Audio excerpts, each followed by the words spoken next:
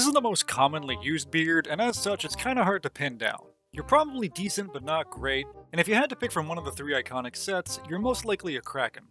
Otherwise, you're probably wearing the generic Sea Dog set, not because it's the first thing you get, but because you like the look of it. I mean, hey, it's way more pirate-like than whatever the fuck this Shakespearean goth clown bullshit is. Just give us a fucking slot for accessories, Rare. Look, I understand why this is in the beard slot, but it's still dumb. Expect shitty ninjas trying to tug on the Fort of the Damned to be wearing this shortly before you blunderbuss their head off. Unless someone's wearing it with a Dark Adventurer outfit, where it actually works, these guys are all bark and no bite. Behold, the grandest and most powerful beard in the game.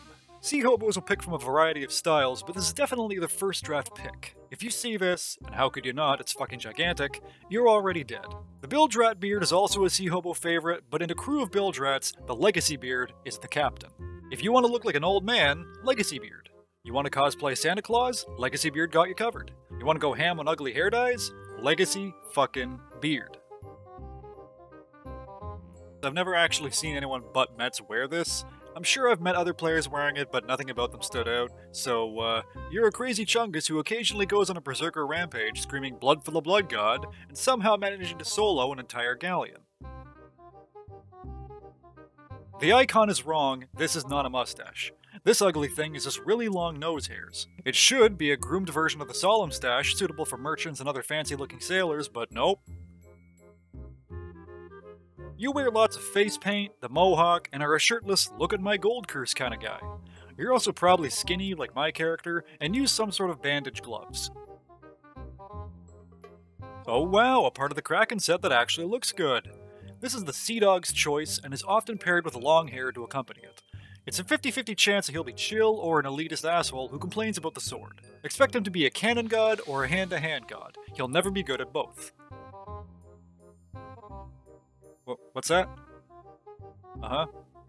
Okay, I've been informed we have the green light to go ahead with the meme.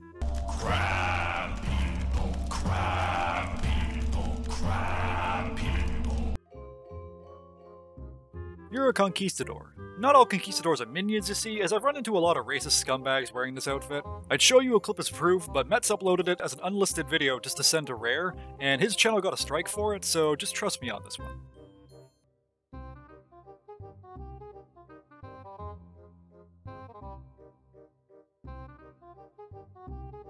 Is this? Your beard doesn't connect! It's like a fake beard!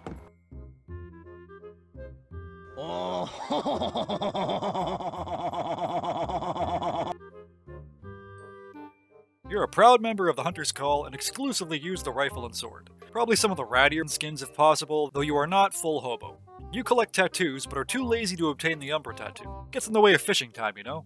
Don't be mistaken, majestic sovereigns are not fishermen. What's the difference, you ask? Fishermen are pacifists. These guys will fight to the bloody death if need be, so don't piss them off.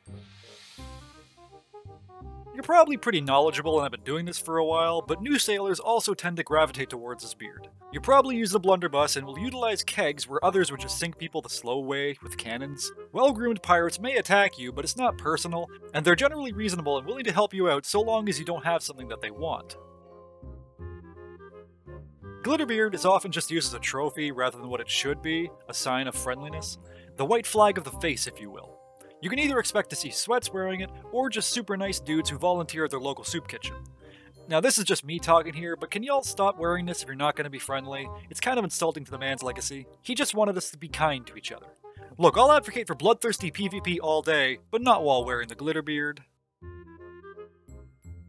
I know a lot of pirates had this style, but I tend to only see Imperial cosplayers wearing it. I've talked about these guys before. You know, pretends they're the Royal Navy, tries to enforce order, that sort of thing. They're still mad about the bucket canceling being patched, and prefer brigs over other ships. Why, why does this... It's a mustache, not a beard. Other stashes call themselves mustaches, why not this one? Uh, anyway, this is the finely combed mane of any top tier merchant. They'll always be rank 5 emissaries, will usually be on a sloop, and are some of the scariest motherfuckers in your server. Many have tried sinking them on the assumption that they're easy pickings. Many have fallen to these glorious whiskers. These players are also rich because they prefer to see their numbers go up rather than spending it on anything. I mean, they already have the Admiral weapons, what else could they need? That's a stupid fucking beard. You don't own the ferryman jacket. You've never worn the ferryman jacket. Lying little shit with your bullshit beard, fuck you. You're a ghost player who never leaves the Fort of the Damned. You probably have a mercenary in your crew, and while you're not the racist flavor of Ghost, you're still kind of an asshole. You're one of those guys who won't shut up about a fucking ice region. I genuinely don't understand the appeal of this one. Pirates were tropical, damn it. You dress like a Viking and have the buff body type. You also stand by the Legend Curse, still holding on to the desperate belief that it's cooler than the Gold Curse, despite the fact that it was a participation trophy for Season 1.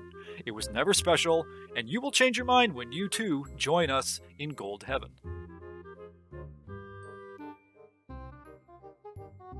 You'd think this would pair with the Bonecrusher outfit, but these players were not around to pick up the red one, so it doesn't match. These players are instead Christmas elves for some reason.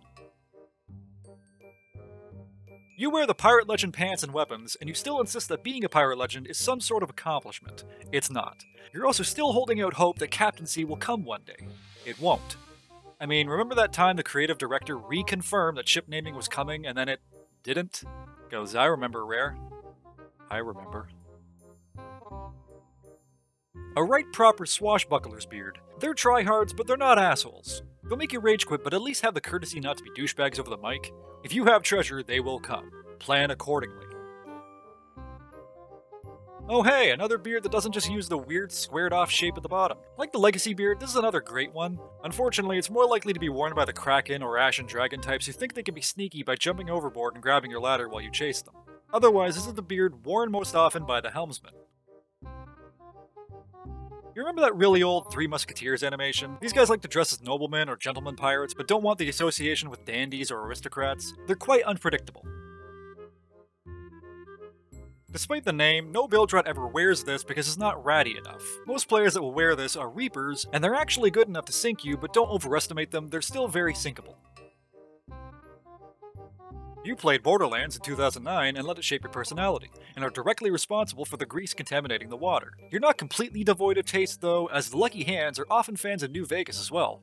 As for Sea of Thieves, these players always have a pistol for some reason. You tend to be. Wait a minute. Hey, this beard isn't even in the game! Except it's been in the leaked files dating back to like 2019, you just aren't allowed to wear this yet, because Rare insists on drip feeding content. This isn't the only one either.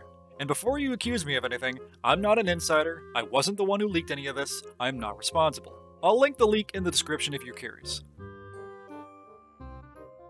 You're probably a big fan of the Ashen Curse and wear it despite owning better ones, because even though it's super easy to unlock, it does look cool. You can often be found doing Devil's Roar Athena voyages because you believe that the annoyance of volcanoes is worth the safety of other crews not being around, because nobody likes volcanoes.